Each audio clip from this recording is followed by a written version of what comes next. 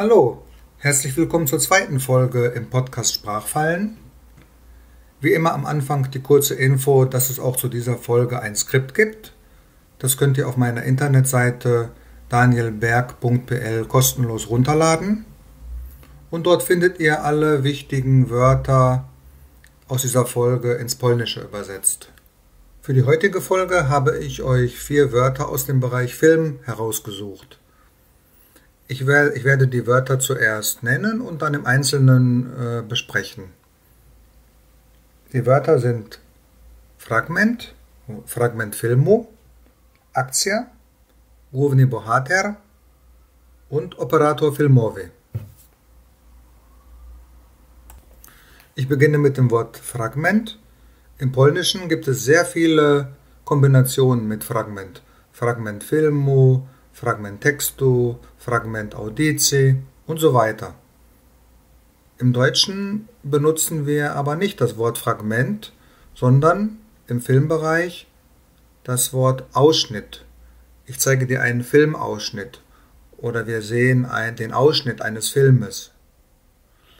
Man benutzt also die Metapher des Schneidens. Das gleiche gilt für Radiosendungen oder andere Gespräche. Ausschnitt eines Gespräches oder Ausschnitt eines Interviews und so weiter. Bei geschriebenen Texten benutzt man auch nicht Fragment, sondern Abschnitt. Also wieder die Metapher des Schneidens. Zum Beispiel, ich lese euch einen Textabschnitt vor. Alternativ zu Abschnitt kann man auch Passage sagen, die Passage. Ich lese eine längere Passage des Textes.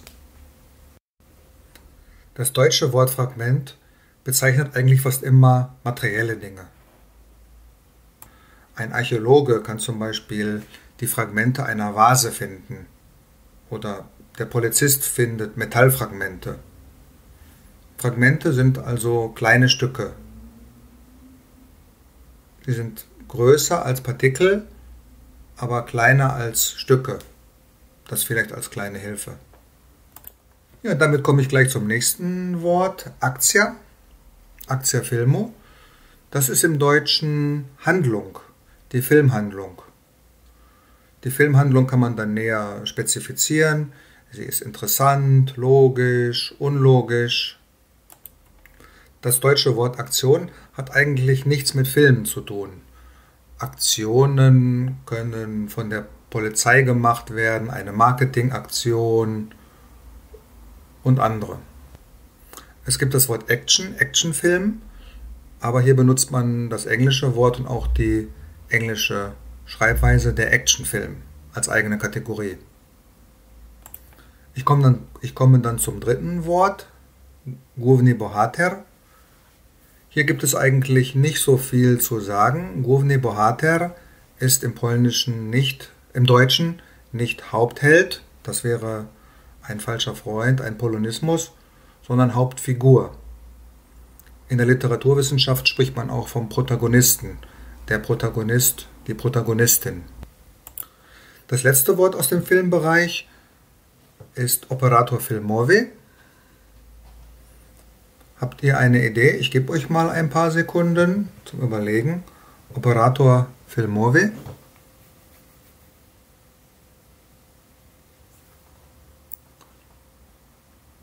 Ich bin zurück und sage euch die Übersetzung.